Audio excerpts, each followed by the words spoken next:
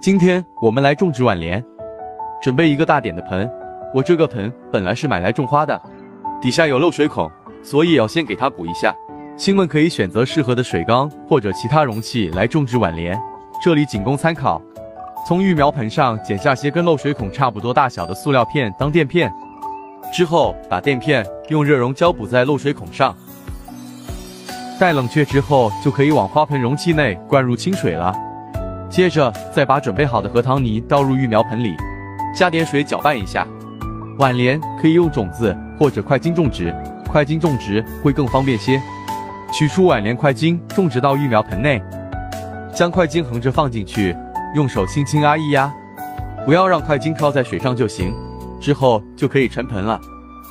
缓苗期应注意避免暴晒。十天后，碗莲叶浮出了水面，在一天天的长大。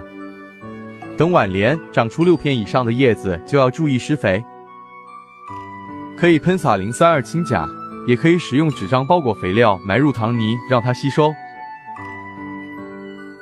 八十天后，晚莲开花了，美美的，非常漂亮。合适的气候温度对晚莲更早开花是很关键的。